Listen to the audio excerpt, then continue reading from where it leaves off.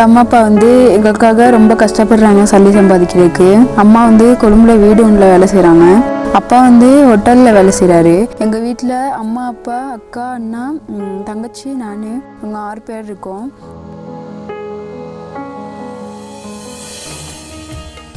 தங்கச்சி வந்து ரொம்ப சின்ன ஆள். நாலாவது படிக்கிறாங்க. அம்மா வந்து வேலைக்கு போனனால தங்கச்சி வந்து எல்லாமே செய்கிறது நாங்கள் தான் அங்கே தங்கச்சிக்கு வந்து காலையில் எழும்பி அவங்களுக்கு ட்ரெஸ் மாற்றி விட்டு அவங்களுக்கு சாப்பாடெலாம் செஞ்சு அனுப்பிட்டு தான் நான் வந்து நுவர்லியில் வந்து வீட்டியில் வந்து குக்கரி கோசம் செய்கிறேன் இந்த நாளைக்கும் பதினாலு கிலோமீட்டர் நாங்கள் நடந்து போகணும் அப்படின்னா இங்கேருந்து போகிறதுக்கும் நானேவிலேருந்து எங்கள் ஊருக்கு வர்றதுக்கும் பதினாலு கிலோமீட்டர் நடக்கும் நாங்கள் எங்கள் வாழ்க்கை வந்து ரொம்ப கஷ்டமானது. அப்படி ஒரு எங்கள் வாழ்க்கை கஷ்டமாக இருந்தாலும் என்னோட குறிக்கோளை வந்து நான் என்றைக்குமே கைவிடணும்னு நினச்சதே இல்லை. ஆனால் தான் இந்த கோர்ஸ்க்கு வந்து நான் வந்தேன்.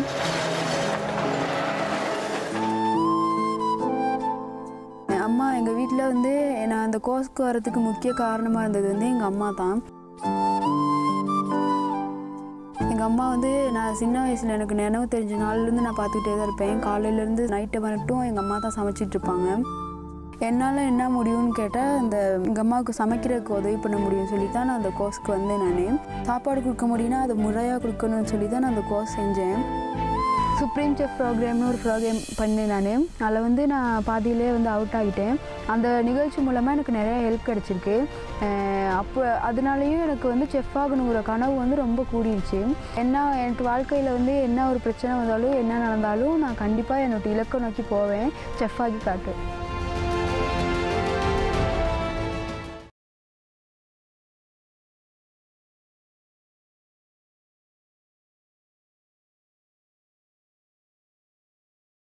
ஆஸ்திரேலிய அரசாங்கத்தின் நிதி உதவியுடன் ஸ்கில்ஸ் ஃபார் இன்க்ளூசிவ் growth-இன் நிகழ்ச்சி தயாரிப்பு.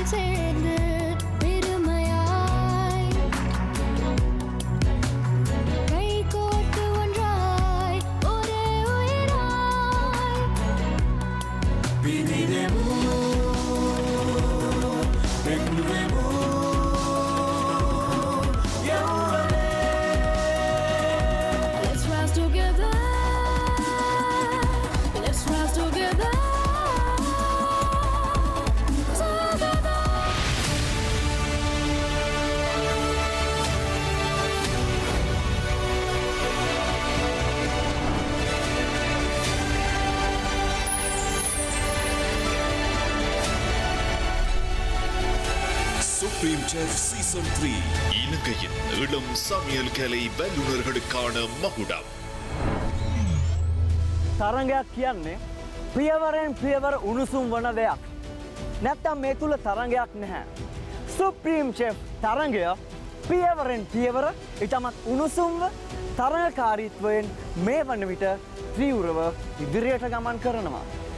பொதுவாக ஒரு போட்டி என்பது படிப்படியாக சூடு பிடிக்கக்கூடிய ஒன்று அப்படி இல்லை என்றால் அது போட்டியே கிடையாது අද අප ඔබ හමුවට එන්නේ ඉටමත් උණුසුම් වූ තරගකාරී සුප්‍රීම් චෙෆ් තරඟ වටයකින්. එන්න අප හාරන් දෙන්න. இன்றைக்கும் மிகவும் போட்டித்தன்மை வாய்ந்த சுப்ரீம் செஃப் போட்டி நிகழ்ச்சியை எடுத்துக்கொண்டு நாங்கள் உங்களை சந்திக்க வந்திருக்கின்றோம் எங்களோடு இணைந்திருங்கள் මේ ஸ்ரீலங்கிய தாருண்யே சூப்பர் வேதி ரியாலிட்டி கீழ சுப்ரீம் செஃப் சீசன் த்ரீ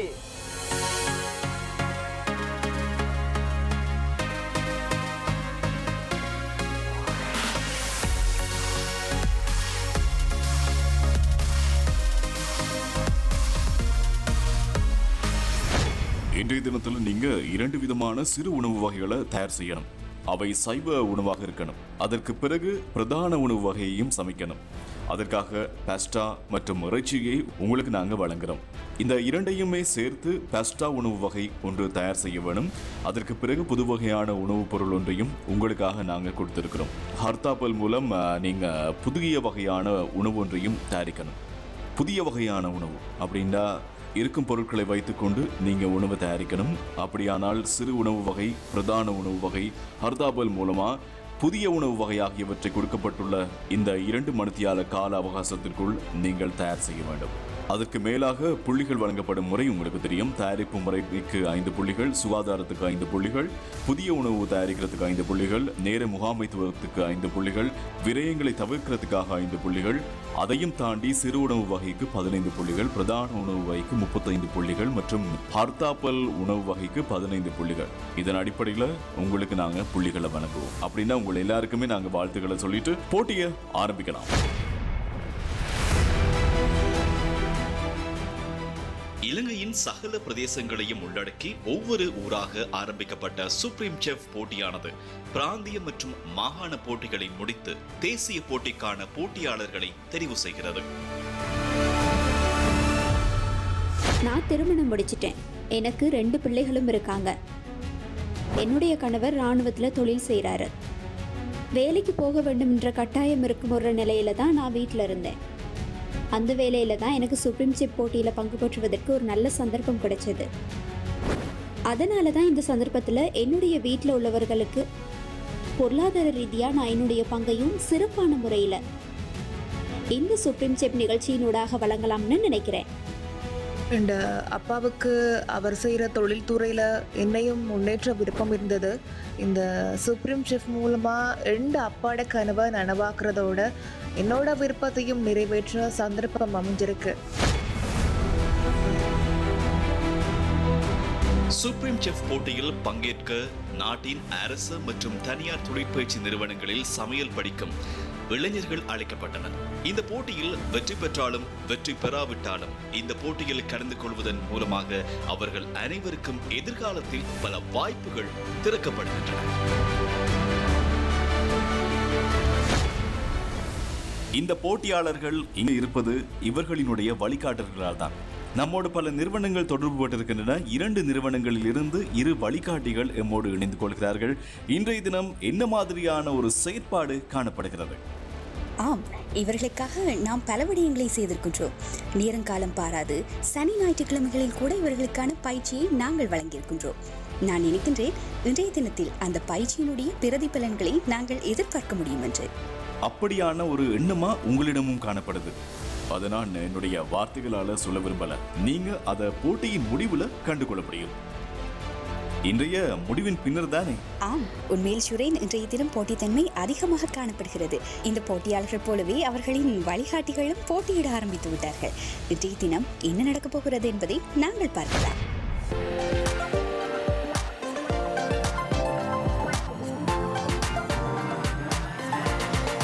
වහිත කුකර විතරයි පුලන් කියලා නෑ නැ තමයි ස්කිල්ස් පුලන් මට ලැංගවේස් තුනම කතා කරන්න පුළ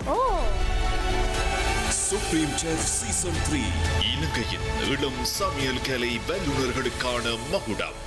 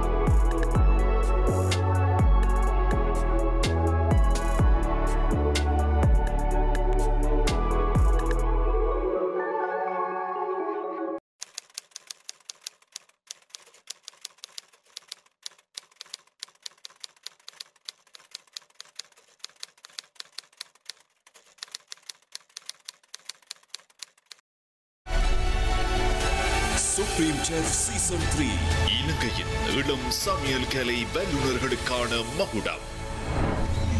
உயர்ந்தவர்கள் தாழ்ந்தவர்கள் என்று யாருமே இல்ல. ஒவ்வொருத்தருக்கும் ஒவ்வொரு விதமான திறமைகள் இருக்கு. என்ன பார்க்கும்போது தெரியலையா? என்னால தொகுப்பாளராகவும் நடிகனாகவும் தானே முடியும். ஆனா சமையக்கலை என்பதும் அப்படியான ஒன்றுதான். நான் கேள்விப்பட்டேன் உங்களோட சித்தப்பாவும் ஒரு சமையல் கலை நிபுணர் என்று இது பரம்பரையாக வருதா? அது போல உங்களோட உணவு வகைகள் பார்க்கறதுக்கு நல்லா இருக்குது. இதை பற்றியும் கொஞ்சம் சொல்லுங்களேன். இது பரம்பரை பரம்பரையாக வருதா அப்படின்றது எனக்கு சொல்ல தெரியல. ஆனா என்னை பொறுத்த வரைக்கும் என்னுடைய சிறு வயது முதல் நான் அவரோட தான் பயணிச்சிட்டு இருக்கேன். அவர் ஒரு திருமணத்துக்கு போறதாக இருந்தாலும் கூட எங்கு போவதாக இருந்தாலும் கூட அவருக்கு பின்னால நான் தெரிந்து கொண்டிருப்பேன். அவரால் தான் உண்மையிலேயே இந்த துறைக்கு வந்தேன். உண்மையிலேயே எனக்கு இந்த துறை மிகவும் பிடிச்சிருக்குது. உண்மையில் இவர் சொல்வதை பார்க்கும்போது இது இவருடைய விருப்பமாக தெரியவில்லை. இவருடைய லட்சியம் பற்றி தோன்றுகிறது. ம் நல்லது.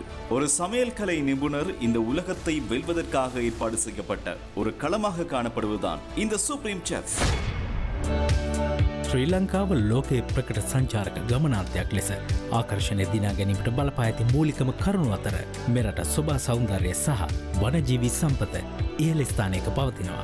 සුප්‍රීම් ෂෙෆ් සීසන් 3 වැඩසටහනේ එක් පරමාර්ථයක් තමයි ශ්‍රී ලංකාව තුළ පවතින අප්‍රකට ගමනාන්ත ඉස්මතු කර දැක්වීම සහ ශ්‍රී ලංකාව සංචාරක පාරාදීසයක් ලෙස ජනප්‍රියවීමට හේතු ඉස්මතු කර දැක්වීම. ඒ අතරින් ආකර්ශණීයම මාතෘකාවක් තමයි ශ්‍රී ලංකාවේ වනජීවි සම්පත. ශ්‍රී ලංකාව ජෛව විවිධත්වය අතින් බොහොම පොහොසත් රටක්. මේ රට සංචාර්ක ගමනාන්තයක් විදිහට මේ ලෝකේ පුර ප්‍රචලිත වෙන්න බලපාලා තියෙන එක කරුණක් තමයි මේ විචිත්‍රවත් ජෛව විවිධත්. අපි අද කතා කරන්න එන්නෙත් බොහොම සුවිශේෂී සත්ත කොට්ටාශයක් ගැන සර්පය.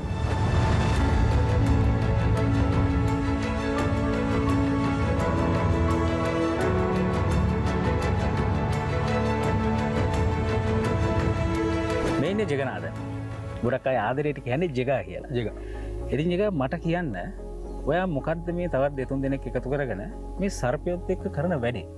මම කරන්නේ ගෙදරට ආපුව මට පණිවිඩයක් දුන්නම දුරකතනමතුම දුන්නම මම එයා සුරක්ෂිතව අල්ලාගෙන කැලේකට දස් කරන එක.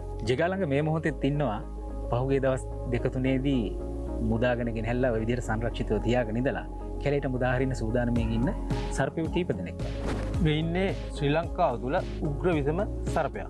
තෙල් කරවලා. මෙයාගේ ඉංග්‍රිසිනාමය තමයි කොමන් ක්‍රේට් පලවිනියා බවටම පත්වෙනවා මෙයාගේ විස තත්ව බලපාන ස්නාවි පත්විතියට ඉතින් මෙයාගේ ජීවත්වීම ඇත්තටම කලාපේ විලි කලාපේ දෙපැත්තෙම වාර්තා වෙනවා.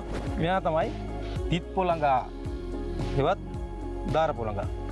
රසල් වයිප කියලා ඉංග්‍රනාමය අඳුන්නවා මෙයාගේ පාරදීමත් ලංකායි ගොඩක් දුරට දස්ටන වාර්තා වෙනවා. මෙයා තමයි පොළොන් තෙලිස්සා ගුණකටුව කියලත් තියෙනවා ශ්‍රී ලංකාව තුළ වැඩිම දෂ්ටන වාර්තා වෙන්නේ මෙයාගෙන් තම මේ තම නාගයාරින් ලංකාවේ ලස්සනම සරපයා දැකගණඩ පුළුවන් මෙයාගේ හැඩරුවලින් මේ අඳුර ගණඩ පුළුවන් නාගයා කියලා.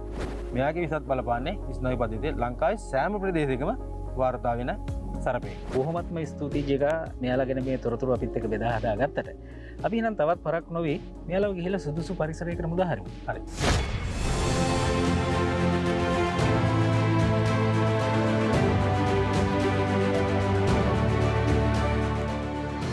சமையல் என்பது உள்நாட்டில் மாத்திரமல்ல வெளிநாட்டிலும் மிகவும் வரவேற்கப்படும் ஒரு தொழில் கலையாகும். சுற்றுலா ஹோட்டல் தொழில் மற்றும் பிற தொழில்களில் சமையல் தொழிலுக்கான தேவை அதிகமாகவே காணப்படுகிறது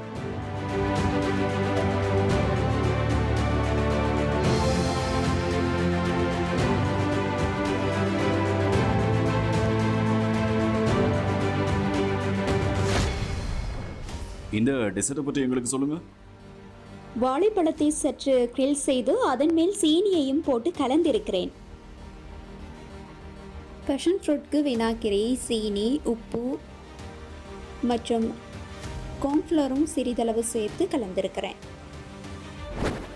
இந்த நிவித்தியில் சுற்றப்பட்டிருப்பது டொஃபு சீஸ் அது உப்பு மிளகு மற்றும் பட்டர் சேர்த்து கிரில் செய்யப்பட்டிருக்கின்றது. டஃப்வை இதோடு கிரில் செய்தீர்களா? இல்லை நிவித்தியை சுடுநீரில் போட்டு அவித்தெடுத்தேன். டொஃபு சீஸை கிரில் செய்தேன். உப்பு மற்றும் மிளகு சேர்த்து. டஃபு என்பது சீஸ் அல்ல விதைகளால் சோயா விதைகளால் செய்யப்பட்டது. சரியா?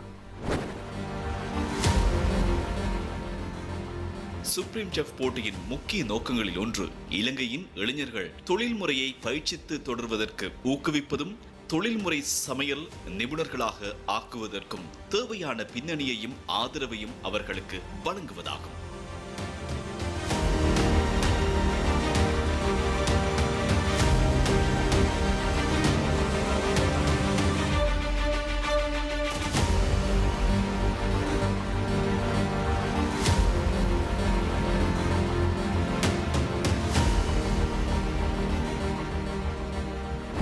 இந்த சிக்கனை நீங்க எப்படி சமைச்சீங்க? இது சிக்கன் மீட் பால் இதற்கு நான் இறைச்சி சேர்த்து அதோடு சோளமா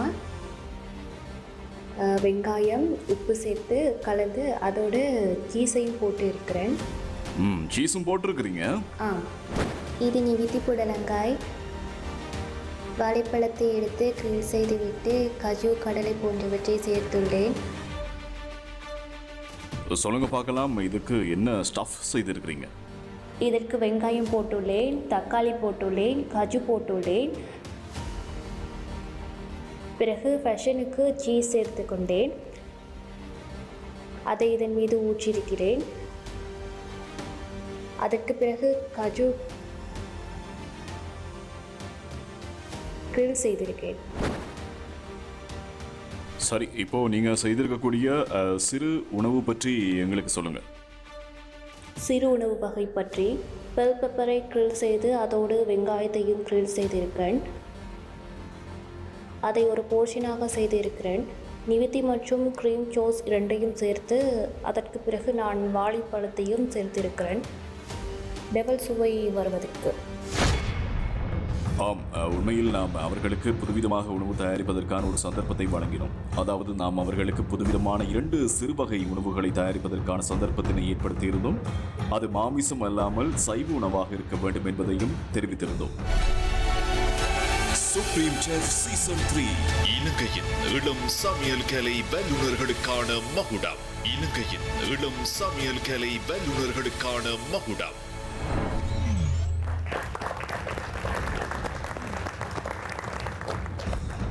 ඕනම දෙක ආරම්භයක් වගේම අවසානයක් තියෙනවා.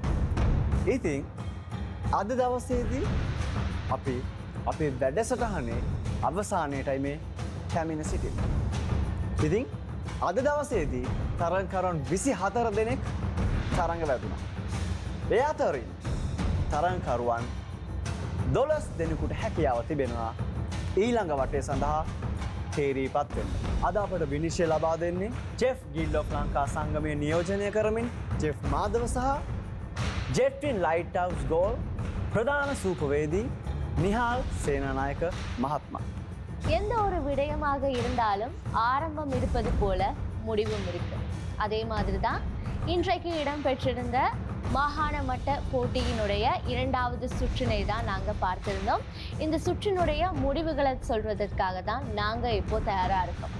இந்த போட்டியில் இருபத்தி நான்கு போட்டியாளர்கள் போட்டியிட்டு இருந்தாங்க இந்த போட்டியிலிருந்து பன்னிரண்டு போட்டியாளர்கள் அடுத்த சுற்றுக்கு தெரிவாக போகிறாங்க இன்றைய நிகழ்ச்சியினுடைய தீர்மானங்களை வழங்குவதற்காக எங்களோட செஃப் கில்ட் ஆஃப் லங்காவினை பிரதிநிதித்துவப்படுத்துவதற்காக செஃப் மாதவ அவர்களும் கால் ஜெட்விங் லைட் ஹவுஸின் எக்ஸிகியூட்டிவ் செஃப் நிஹால் சேனநாயக்க அவர்களும் எங்களோடு இணைந்திருக்கிறாங்க. இன்றைக்கு மிகவும் சிறப்பான ஒரு நாள். காரணம் இன்றைய தினம் மாகாண சுற்றின் இரண்டாவது கட்டத்தின் முதல் போட்டி நடைபெறுகிறது.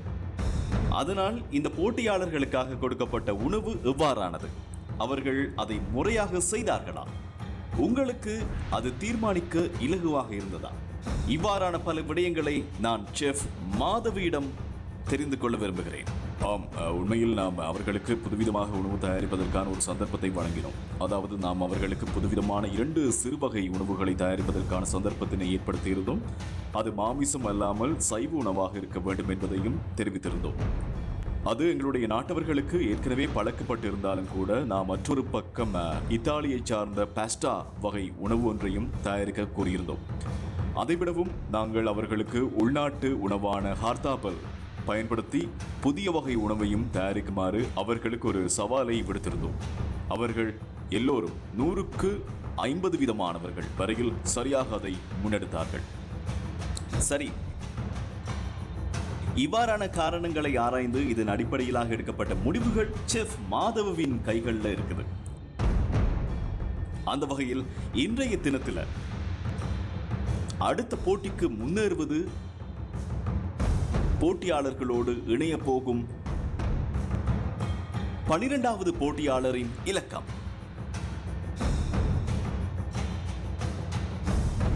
நம்பர் சிக்ஸ்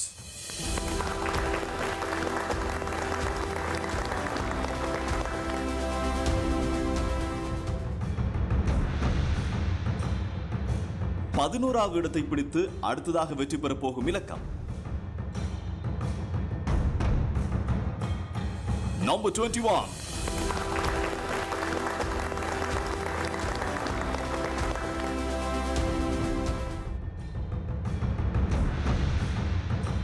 இந்த திறமையானவர்களில் அதி திறமை வாய்ந்த பிரிவினரோடு இணைய போகும் அவ்வாறு இல்லாவிட்டால் அடுத்த வெற்றி பெற்ற பத்தாவது இடத்தை பெற்ற அடுத்த போட்டியாளர் யார்? இலக்கம் நம்பர் டூ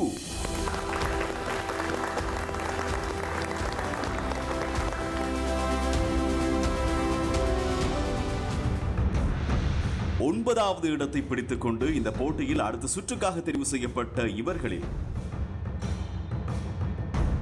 இந்த போட்டியாளர்களில் முன்னேறி செல்லக்கூடிய அடுத்த இலக்கம். நம்பர் நம்பர் சிக்ஸ்டீன்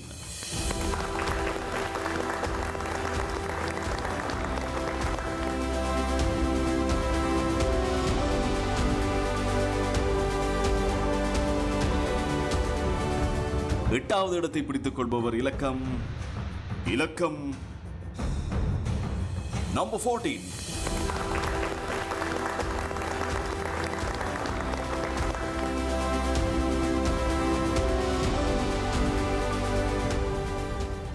அப்படியானால் ஏழாவது இடத்தை பிடித்துக் கொள்பவர் அந்த வெற்றியாளரின் இலக்கம். 24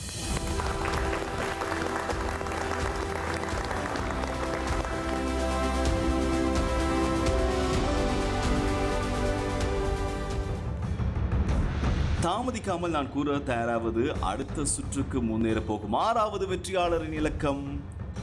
நம்பர் நைன்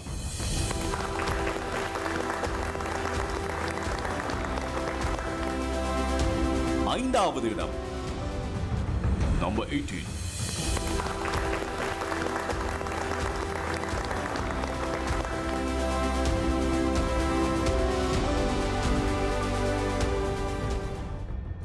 இந்த திறமையானவர்களுள் நான்காவது இடத்துக்கு முன்னேறி செல்வது இலக்கம். இலக்கம் ஒன்று பூஜ்ஜியம். நம்பர் டென்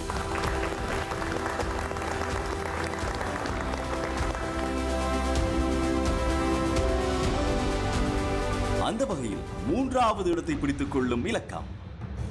இலக்கம் 22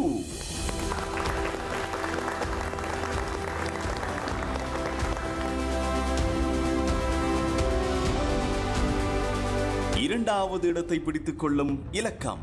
இலக்கம் நம்பர் 17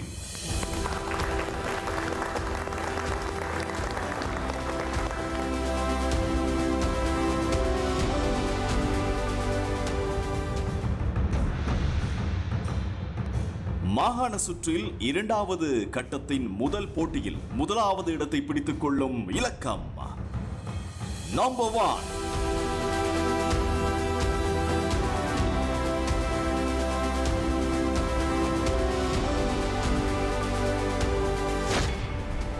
තරඟයක බොහෝ විට මතකය රැඳෙන්නේ ජයග්‍රහණය පමණයි. ඒත් එය එසේ විය යුතු නෑ.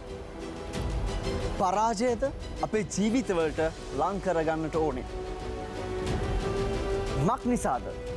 පරාජය ජයග්‍රහණයක ආරම්භයක් වෙන නිසා. போட்டியில் வெற்றியை மட்டுமே அடிக்கடி நினைவு கூர்கின்றோம் அது அப்படி இருக்க எம்முடைய வாழ்வில் அடிக்கடி தோல்வியையும் நாம் நினைத்து பார்க்க வேண்டும் ஏனென்றால் தோல்விதான் வெற்றியினுடைய ஆரம்பம் එසේනම් අදට ඔබෙන් සමුගන්නට අවසරයි. ලබන සතියේදීත් අපි හමුයමු.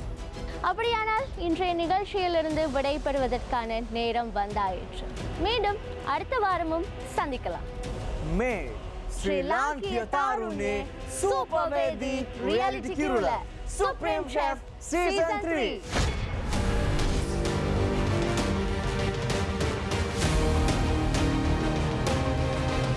හැමෝටම හිතන්න පුළුවන් මේ තරංගාවලියක තියෙන්නේ පරිනිදි රස කියලා. රස නෙමේ. ඒගොල්ලන්ට අපි පෞරුෂයක් ඇති කරන්න ඕන කොහොමද මේ වගේ තරංගාවලියකට මුහුණ දෙන්නේ කියලා. ඒක තමයි මේක ප්‍රධාන වැදගත් දේ කියලා මම හිතන්නේ.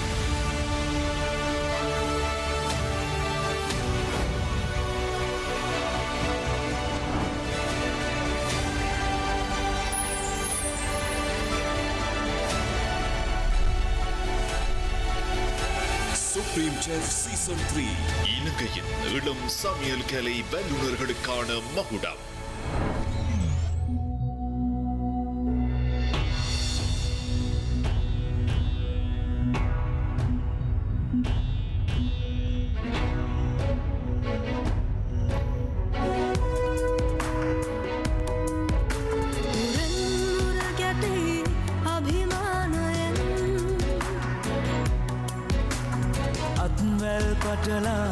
එක්ම එකා